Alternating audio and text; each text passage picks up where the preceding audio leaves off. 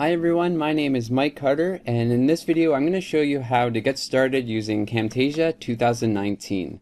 So this video is going to be for educators and beginners and I'm going to show you some tricks that you can use to benefit your students. So this will be part one of three, just recording the screen and also how to trim, cut, and split a video to keep the video as short as possible for your students.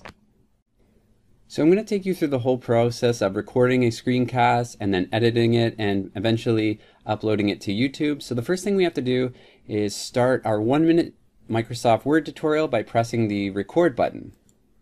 That's going to open up this little window at the bottom and there's two things you want to make sure you have turned on is the full screen mode which is on now. Uh, don't worry about customizing the view. If you want to zoom into certain parts of your screen later we can and we'll do that once we're done our recording. And you also want to make sure that the audio is on to take advantage of all the audio-visual elements in Camtasia that are going on. So uh, with that on, we can check our microphone is on. And the next thing we have to do is press record. You're going to get a three second countdown. And then when you're done the tutorial, you just hit F10 on your keyboard to stop the tutorial. So let's get started.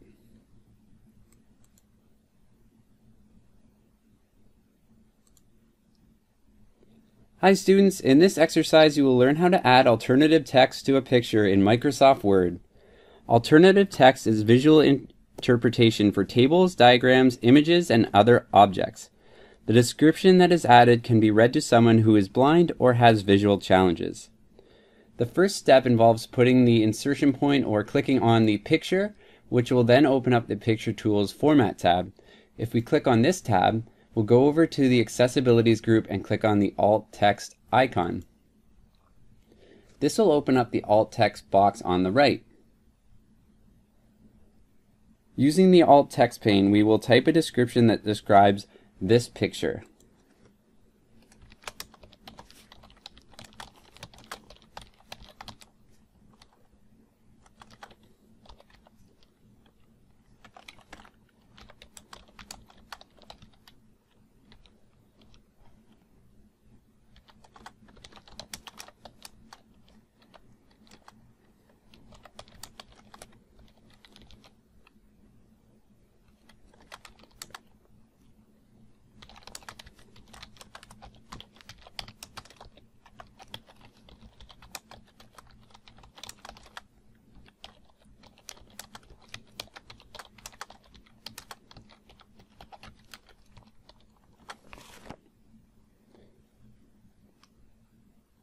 Now we can exit the alt text pane by clicking on the X. And now we know that this document is now more accessible to someone with visual challenges. Alternative text is an example of universal design. What do you think of universal design, Avery? Once you hit the F10 button on your keyboard, you will be automatically taken back to the original Camtasia editing screen. Your recording is placed in the media bin and the timeline in track 1 on the bottom. If we move this needle around the timeline, we can skip to a certain area of the video. So first we will cut two unnecessary spaces on our video. To do this, I'll zoom in on the timeline. And we notice that these two spaces, when we play them,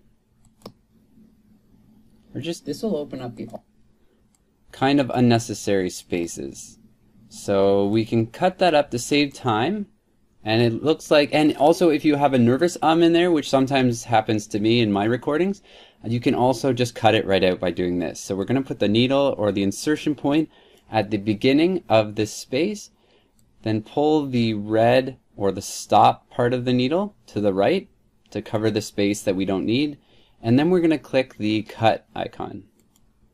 We're going to do the exact same thing in this unnecessary space here. So I'll put the, the little needle point at the beginning of the space and drag the stop part or the right of the needle to the end of that space and then again click the scissor icon to cut that space. Now let's trim the audio at the beginning and the end of this tutorial. So you can see at the end of the timeline we have about 20 seconds that we don't actually need. So I'm going to do something similar to cutting. We're going to trim by dragging the red part of this needle over the end and then just click delete on your keyboard. That's how you would trim the end. And if we zoom in on the beginning of this tutorial, there's a large space that we're not actually using. So I'm going to put the needle at the beginning, drag the red part of the needle to just before I start talking and press the delete key again. And then we have to, because we deleted the, that part, we have to push this part over to the beginning of our timeline. You can also split a portion of the video so that you can alter things and make changes to a certain part of the video without making changes to others. So there's a long part of this timeline that you see no sound in, or these sound waves, and that's where I'm typing. So that's almost half of the tutorial, so there's really no need for that big space. Um, I can speed that up a little bit. So what we're going to do is we're going to add where that starts, where the typing starts here, hit the split icon for our first split, and then right where that typing ends and I start talking again, right before that we're going to add another split so that we've divided this section off from the rest of the video. Now we can just speed up this section without speeding up the rest of the video. So to do that I'm going to click on this section and then I'm going to right click on my mouse and then we're going to click the spot where it says add clip speed and here's the speed I can make it longer to, if I want to make it longer, but I can pull to the left if I want to make this a lot shorter as well. So see how much time we're saving. That's about almost like 30 seconds there. So, and then I can just drag this part of the media. So now that when we, when we play this back, it just looks like I'm a super fast typer. Sure.